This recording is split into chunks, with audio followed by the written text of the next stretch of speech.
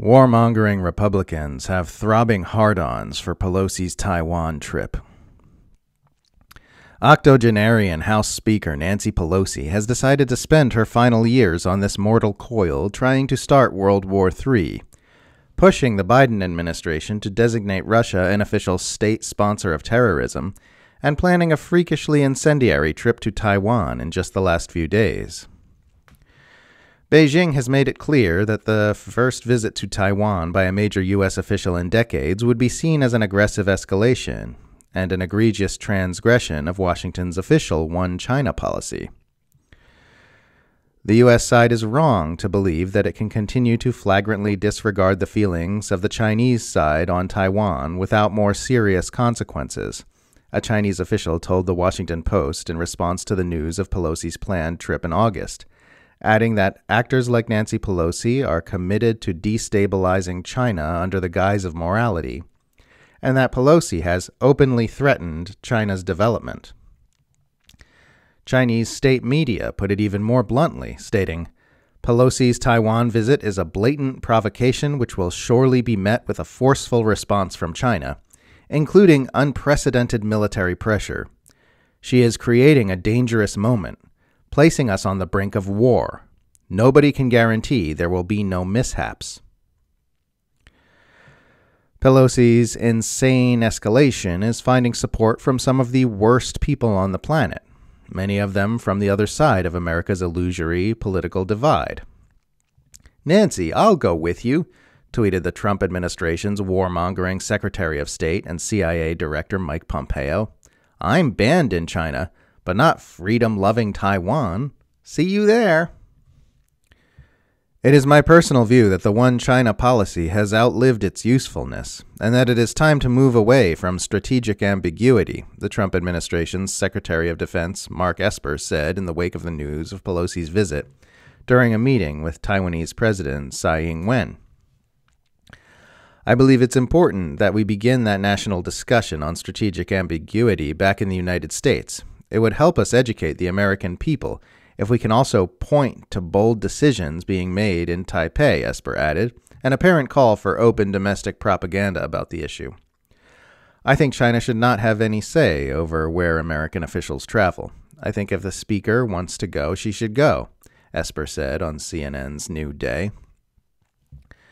Speaker Pelosi absolutely should take a bipartisan congressional delegation to Taiwan, tweeted former Republican House Speaker Newt Gingrich.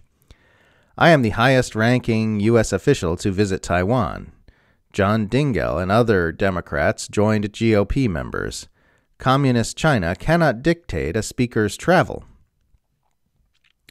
Would it surprise you to learn that Nancy Pelosi got a round of applause at a meeting of the Trump backed America First Policy Institute? Journalist Michael Tracey tweeted from, a, from the meeting on Monday. Because that's exactly what happened when Newt Gingrich declared support for her upcoming trip to Taiwan. Speaker Pelosi should go to Taiwan, and President Biden should make it abundantly clear to Chairman Xi that there's not a damn thing the Chinese Communist Party can do about it, Republican Senator Ben Sasse said on Monday. No more feeble, feebleness and self deterrence. This is very simple. Taiwan is an ally, and the Speaker of the House of Representatives should meet with the Taiwanese men and women who stare down the threat of Communist China. Taiwan is, in fact, not a formal ally under current U.S. policy, but that's exactly what all these calls to abandon the one China policy and strategic ambiguity are geared toward changing. Sasse's comments are particularly unnerving because they suggest that if the Biden administration does anything to deter Pelosi's Taiwan brinkmanship, it will be weaponized by the GOP to attack Biden as a puppet of Xi Jinping.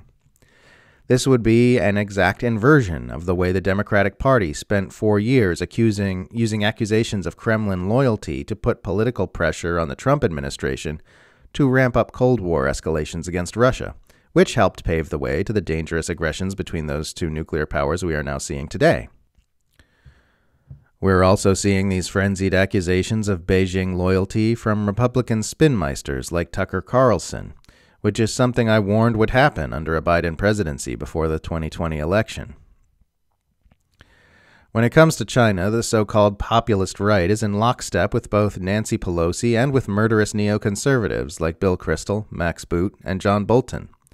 Steve Bannon's support for regime change in Beijing is indistinguishable from Bill Kristol's support for regime change in Beijing.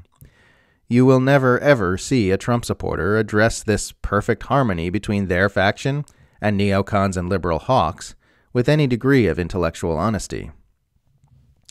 In reality, though Democrats tend to lean more toward supporting aggressions against Russia, while Republicans lean more toward favoring aggressions against China, they're both just manufacturing consent for aggressions for the same unipolarist agenda of total global domination. They pretend to be on opposing sides, but if you ignore the narratives and just look at the actions, what you see is a steadily escalating great power competition designed to facilitate the U.S. empire's long standing agenda of securing unipolar planetary hegemony at all cost. The drums of war are growing louder and louder, and the psychopaths who feed off it are growing more and more aroused. Let's hope this evil empire ends as soon as possible, in as peaceful a manner as possible, before these freaks get us all killed.